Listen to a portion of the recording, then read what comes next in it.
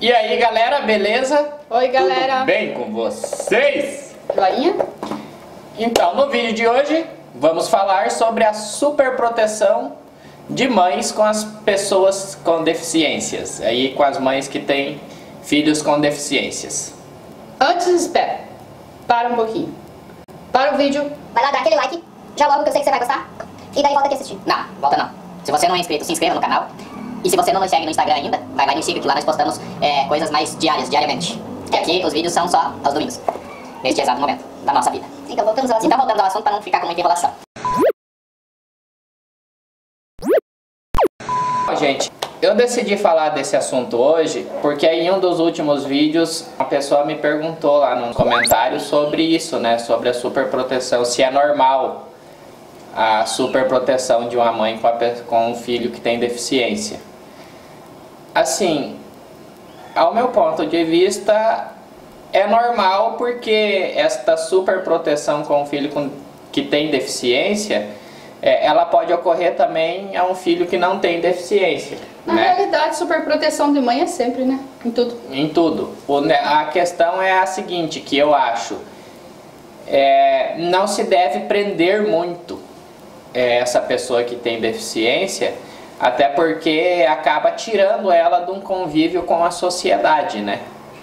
É, mas também isso daí vai depender também da pessoa, a, o deficiente em si, né? Porque também ele tem que colocar e deixar a mãe segura de que nada tão ruim, tão grave vai acontecer com ele. Porque, claro, isso de super proteger, de ter medo, de querer a gente colocar embaixo das asas, é coisa de mãe. Isso é normal. É, é normal em qualquer caso. Como eu falei, casos. seja a pessoa deficiente é, ou não. Só que, assim, você, você é deficiente, você está se sentindo muito preso, está se sentindo muito pressionado pela mãe, senta, conversa com ela, explica e conquista a segurança dela de que você, nada de ruim vai te acontecer. Porque é lógico que a partir da hora que ela vê que você consegue se virar sozinho, mostra pra ela que você consegue, entendeu? Por exemplo, e por eu acho que vai, vai ficar de boa. Por exemplo, se você quer sair com os seus amigos e ela sempre vai junto, pede pra ela, não, deixa eu ir sozinho agora, desta vez. E mostra pra ela que nada de mal vai acontecer, que os seus amigos vão te ajudar, é. que você vai conseguir se virar sozinho, mas claro, é, pega e liga pra ela, olha mãe, estamos aqui em tal lugar. Tô bem, volto. Tô bem, tá assim, tranquilo, que, que... pode ficar de boa. E se você demorar naquele local, dali a pouco liga de novo. É normal de mãe né? ter preocupação, independente de ser, de ser é, cadeirante, fí é, deficiente físico ou não. Então, é, eu mesma, eu tenho meu filho com já é casado, tem dois filhos, sou avó. E ainda tenho preocupação com ele. Eu gostaria que ele me desse mais informações sobre a vida dele. Tipo, ó, oh, mãe, hoje eu tô bem. Só me ligasse pra dizer que tava bem, mas ele não liga. Aquele Eu disse. De novo. Vou nem comentar, mas tá bom. Daí, é, assim, é normal de mãe querer ter isso, sabe? Querer saber como que tá. Não é nem querer se meter na vida, mas é querer saber como que tá. Só pra gente tranquilizar a cabeça e ficar de boa. Que nem eu mesmo, quando depois que eu sofri o acidente e fiquei na cadeira de rodas. Até eu ter o meu primeiro carro, começar a sair sozinho aí, foi um tempinho. Tive, como já falei em outros vídeos, ajuda dos amigos da faculdade, né? E quando eu eu fui para uma cidade vizinha aqui junto com um amigo meu, porque os pais dele moravam lá, a mãe ficou assim, tipo, porque eu nunca tinha saído sem ela para algum lugar, né? Ah, mas será que vai dar certo? Como é que você vai fazer para tomar banho? Como é que isso? Como é que aquilo? Falei, mãe, calma.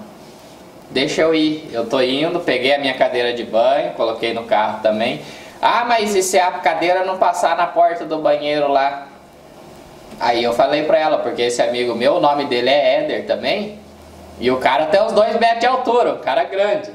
Falei, uai, se a cadeira não entrar andando normal, simplesmente aquele palhaço do Éder vai ter que montar ela lá dentro do banheiro pra mim, me pegar no colo e me colocar lá. E depois ele vai ter que me tirar no colo de volta.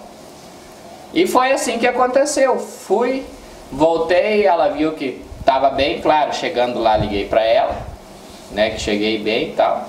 Até hoje a gente faz isso com as mães quando a gente viaja e que deu tudo certo. Então, assim, ela começou a, a se preocupar menos, eu acho, Não, é, quando, quando, quando eu saía com os meus amigos, até mesmo aqui na cidade. É, mas assim, então isso é a parte do você cadeirante fazer, você pessoa física, pessoa com deficiência fazer. Conquistar o, o, o carinho e a confiança da sua mãe, tá? Agora você mãe de cadeirante, você mãe de, de deficiente físico, você mãe.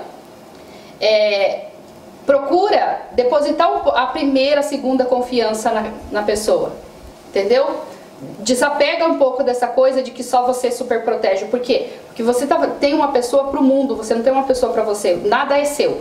Ninguém é seu. Então, a partir da hora que você tem essa pessoa, prepara ela. Prepara ela para o mundo e deixa. Deixa ela viver. Por quê? Porque deposita confiança nela. Ele vai lá, ele vai te mostrar que conseguiu. Se ele conseguiu, ponto para você. Você conseguiu treinar ele bem. Tá? Agora, se você, se ele não conseguiu, insista em prepará-lo para conseguir mais para frente, não você tá sempre ali fazendo para ele, porque você não vai estar tá sempre ali fazendo para ele. Você tem que colocar isso na sua cabeça que você não vai estar sempre ali para ele. Então você tem que sim preparar a pessoa para ela sim conseguir sozinha, conseguir a, ah, pedir ajuda para outros, entendeu? Conseguir saber em quem confiar, tá? E é isso aí, gente. É que, e assim, querendo ou não, os amigos também vão proteger ele, tá? Eu sei, eu sei disso, tá? em situações de perigo ou em qualquer coisa, a primeira coisa que eles vão fazer é, é rodear essa pessoa com deficiência uhum. Para não deixar que nada de mal aconteça com ela. É um Isso eu já humano, sei né? porque aconteceu comigo já várias vezes. Bom, é um instinto humano esse de, de proteger, sempre, sempre proteger. Quem tem mais é, até criança, é instinto da gente já proteger. Né? E esse vídeo vai ficando por aqui, que eu tô vendo que a bateria da câmera está acabando ali. Bom, como eu falei, se você não é inscrito em nosso canal, inscreva-se, deixa seu joinha, comenta aí embaixo e compartilha esse vídeo que você vai estar ajudando muito o nosso canal a crescer. Um beijo, tchau! Tchau!